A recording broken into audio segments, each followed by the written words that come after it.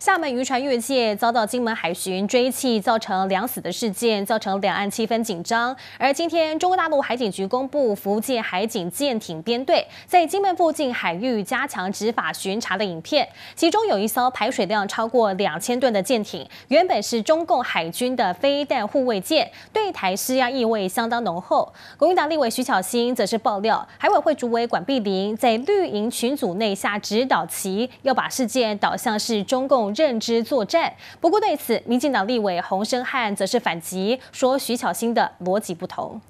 我是中国海警两两东两舰，请通报你船的出发港、目的港。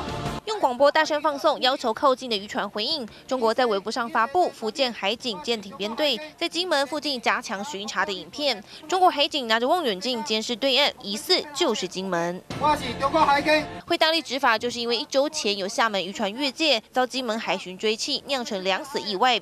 中方宣布没有进限制水域后，一连好几天，海警船就在金厦海域绕啊绕。还有一艘排水量超过两千吨的舰艇，原本是中共海军的飞弹护卫舰，出动巡查对台。施压意味浓厚，让民众也感到有些不对劲。可能在安全性上面来讲，出海捕鱼什么，事实上困扰就比较大。就担心渔民生计受影响，两岸持续密集协商。双方讨论是不是有共识了呢？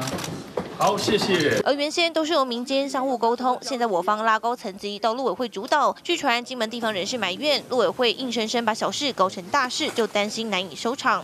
海巡的主管机关海委会责无旁贷，却衍生出案外案。国民党立委徐巧芯脸书抛出截图，表示海委会主委管碧玲在绿营群组中强调，抓到越界渔船都是拘留、重罚、拆解，不会只有驱离。徐巧芯质疑管碧玲广发讯息，要求党内口径一致，帮忙善后。国民党总是跟中国想要的逻辑是相同的，学委员一一直以来哦东拉西扯，很难知道就是洪生汉委员他想要表达的是什么啦。应该要有的监视器，用这么模糊的态度，不愿意公开真相。金厦海域渔船越界引爆冲突，连国内政坛自己都吵不停。